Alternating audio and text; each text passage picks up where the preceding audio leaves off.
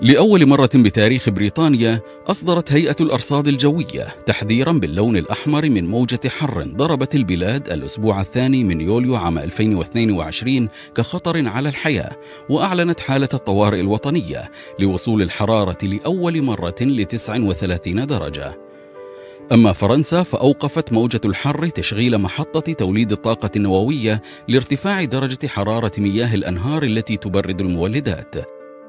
وتواجه كل القارة ارتفاع أسعار الوقود والغاز لتقليل الاعتماد عليهما من روسيا. يرافق كل هذا ارتفاع الإصابة بكورونا في بريطانيا وزيادة تلوث طبقة الأوزون واندلاع حرائق لشدة جفاف الجو بإسبانيا وفرنسا والبرتغال عطلت حركة النقل وأجبرت الآلاف على الإخلاء. موقع فوكس وصف موجة الحرب بأنها تذكير بتلاحق المصائب. فكوفيد 19 وحرب أوكرانيا والتضخم جعل استعداد الدول للتعامل مع ارتفاع الحرارة صعباً. أما موقع بوليتيكو فذكر أن السياسيين يتمنون أمرا واحدا عدم تكرار ما حدث عام 2003 عندما تسببت موجة حر بمقتل سبعين ألف شخص علما أن ألفي شخص توفوا حتى الآن في البرتغال وإسبانيا وذكر الموقع أيضا أن الخطر على الصحة يتجسد في ضربات الشمس والإنهاك الحراري خاصة على كبار السن ولكن لماذا تضررت أوروبا هكذا؟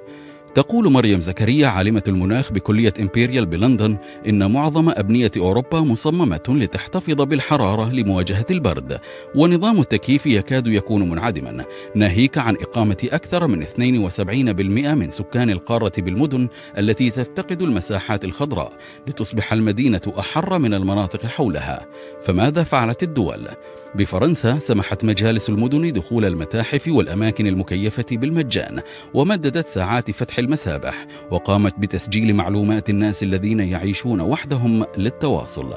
أما لندن فنشرت حول المدينة مشارب الماء مجانا.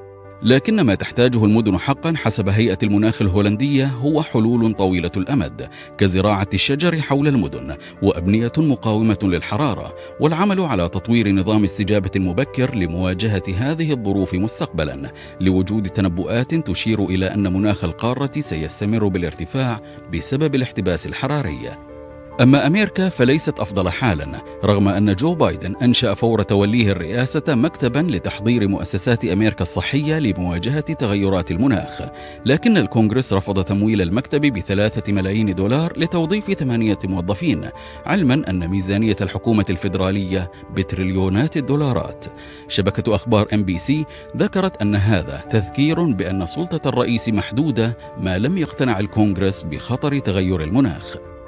إذا أعجبك الفيديو وتود مشاهدة المزيد منه لا تنسى أن تعمل follow، subscribe، like وتفعل الإشعارات.